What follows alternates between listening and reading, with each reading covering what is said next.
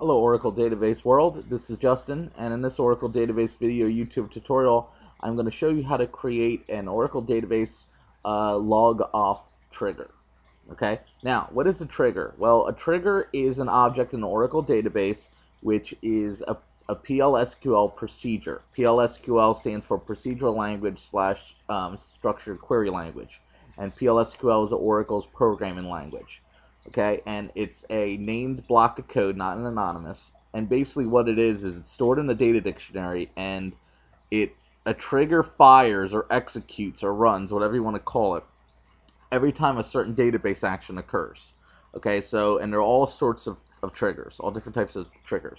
So a, a trigger an event could be someone um, inserting data into a inserting a row into a table or it could be executing a certain command, or it could be uh, shutting down the database, starting up the database, logging on the database, or logging off the database.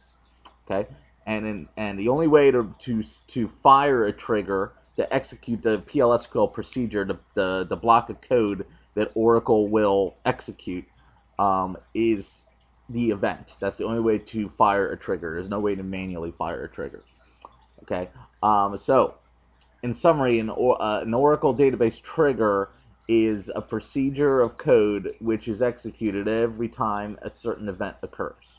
And the event in the database. And the event in the, in the database that we want code to execute in this example is every time a user logs off, I want a certain event to occur. Okay, this is good for auditing.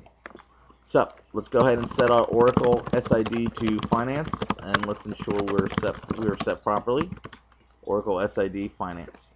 Now we're going to connect by SQL Plus to our finance database.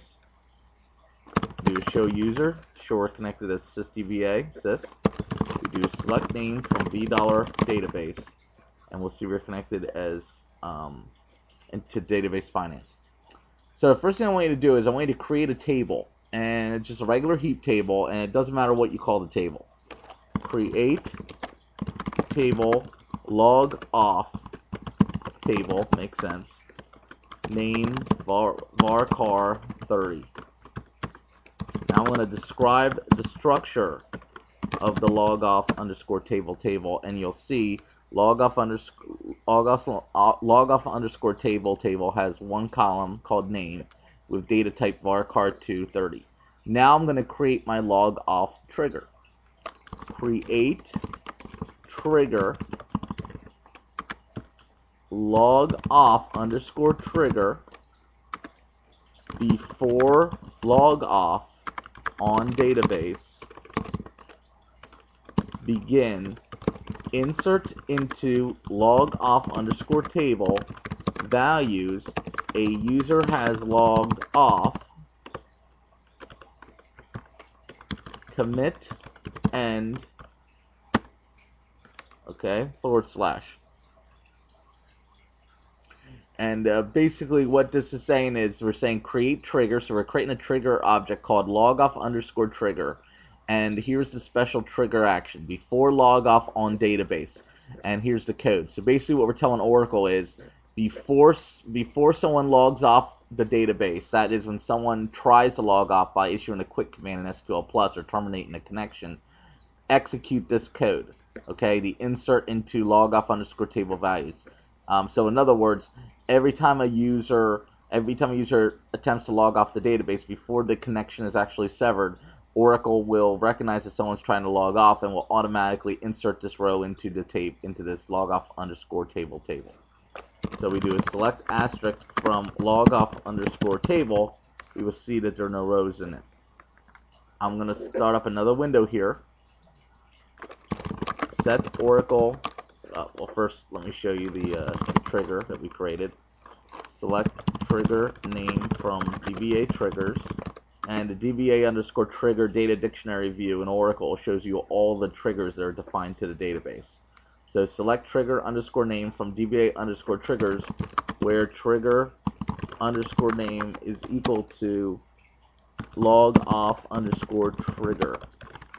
And there it is, log off underscore trigger. So I'm going to set my or my next my in my other window here. I'm going to set my Oracle SID to finance, ensure I'm set properly, and I'm going to connect as user Justin. Justin, Justin one two three. Show user. So I'm connected to Oracle as user Justin. Now when I select from the table, I see that there's nothing in it. Okay, because I just logged on, I didn't log off yet. Now I'm gonna log off by typing in quit. Just get out SQL Plus, which terminates the session to the database. Disconnected from Oracle. Now I'm gonna select from the table. Now I have a row. A user has logged off. Now I'm going to show you with another user, user Minka. Show user, user Minka is connected to the database. Okay, select asterisk from log off underscore table, still one row from Justin. Now I'm going to type in quit to terminate the session to, the, to terminate this session from the database. Quit. Now I do select asterisk from log off underscore table. Now I have two rows. Okay? So, it's a row for every user that logs, for every time a user logs off of the database. Okay? So here's the first row for when user Justin logged off, and here's the second row in the table for when user Minka logged off. Okay? That's how you create a trigger to fire before any user logs off the, system, database.